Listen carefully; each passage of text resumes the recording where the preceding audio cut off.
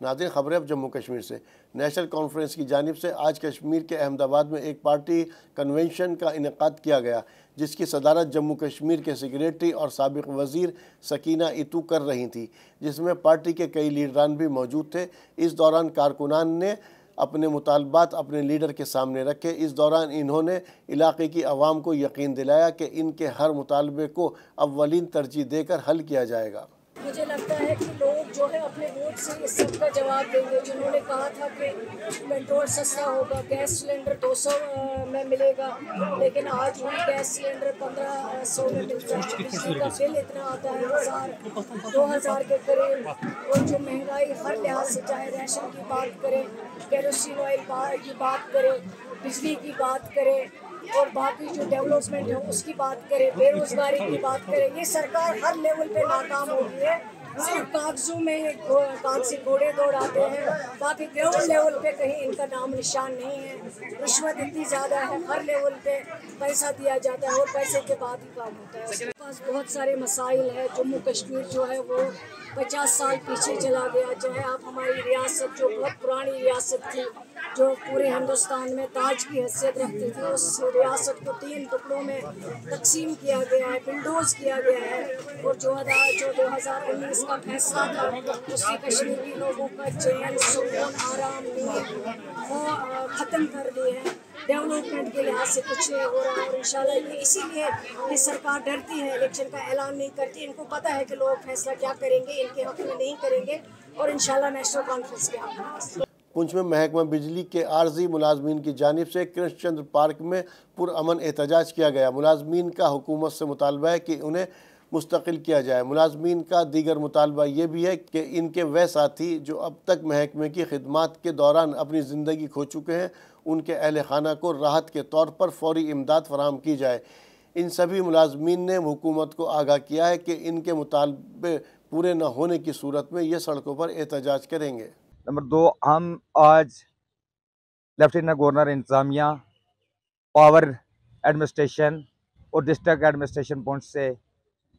ये कहना चाहते हैं कि हमारे जो साथी जिनकी डेथ हो चुकी हैं, कल परसों हमारा एक सुरन सुरनकोट में साथी जिनकी वफात होगी एक और कल रजौरी में। तो इसी कड़ी में आज जम्मू प्रामस के तमाम डिवीज़नों में ये प्रोग्राम चल रहा है, स्ट्राइक का।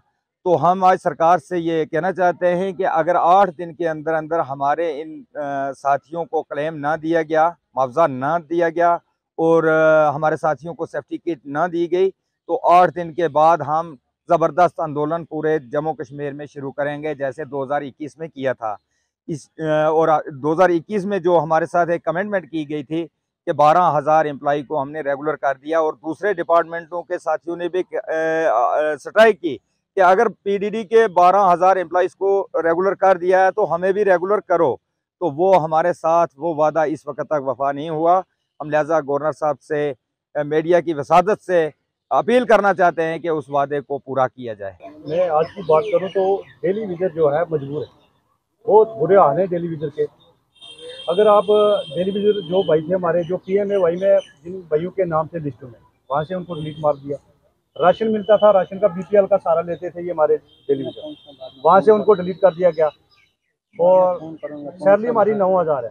नौ हज़ार में हम ना बच्चों को पढ़ा पा रहे हैं ना हम राशन खरीद रहे हैं खरीद सकते हैं ना कोई अच्छा मकान बना सकते हैं ये सब डेलीविजनों की प्रॉब्लम है।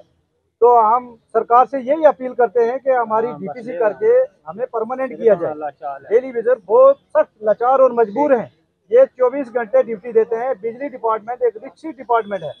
जो कफन बाँध के सीने पर सुबह निकलता है, ना जाने शाम को वक्त सही टाइम पर घर वापस सही सलामत पहुंचेगा या नहीं पहुंचेगा। तो हमारा जो डिपार्टमेंट है, इसके पास तीन सौ इक्यासी एस है।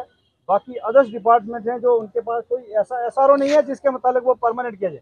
हालाँकि गवर्नर साहब ने ये ट्वीट किया 2021 में कि हम ये बीपीसी करके इनको परमानेंट बारह हज़ार आदमी को वन टाइम में परमानेंट कर देंगे। लेकिन अभी तक वो वादे जो खोखलाई हुए अभी तक हमारा कोई भी डेलीविजन परमानेंट नहीं हुआ। 2018 की जो डीपीसी थी, उसमें से 250 आदमी परमानेंट हुआ। हम सरकार से यही गुहार लगाते हैं कि हमें डीपीसी करके परमानेंट किया जाए। पुंछ में ट्रैफ़िक पुलिस की जानिब से एसओ ट्रैफ़िक मोहम्मद शफीक की सरबराही में एक मखसूस नाका लगाकर ट्रैफ़िक कानून की पासदारी न करने वालों के चालान काटे गए। इस मौके पर कई गाड़ियों को जब्त भी किया गया और तमाम आवाम से ट्रैफ़िक कानून की पासदारी पर अमल करने की हिदायत जारी की गई। सर, देखिए कि बहुत बड़ी खुशी की बात है कि इन दिनों में जो हमारा जम्मू कश्मीर में जो बाइक जो स्टंट करने वाले थे, उनके जो तादाद बढ़ गई है अचानक से। तो आमतौर पे देखा गया है कि बहुत सारे जो स्टूडेंट्स लाइफ में जो जिनके पास बाइक, स्कूटी ऐसे हैं, वो बहुत सारे ऐसे कर्तव्य करते हैं जिससे आने वाले लोगों को परेशानी होती है, रोड पे चलने वाले जो लोग हैं, जिसमें छोटे बच्चे हो गए, फीमेल से, उनको प्रॉब्लम होती है। तो आज एक ट्रैफ़िक पुलिस ने जो एक नाका लगाया जिसमें जो वायलेशन कर रहे हैं, उनको जो सख्त से सख्त उस पर कार्रवाई की जा रही है तो मेरी आपके मीडिया के माध्यम से ये अपील रहेगी कि ये जो लोग हैं, इन स्टूडेंट्स को वॉच किया जाए, कौन से लोगों और इनकी जितनी भी स्कूटी बाइक या जो भी इनके पास जो व्हीकल है, उसको तकरीबन सीज किया जाए इनको दिया ना जाए, क्योंकि एक दो दिन का अगर आगे इसको इनको अगर 200 या 300 का आप चलान करते हैं तो दूसरे, तीसरे दिन ये लोग वापस उसी चीज़ पर वायलेशन करते हैं और उससे लोगों को प्रॉब्लम होती है।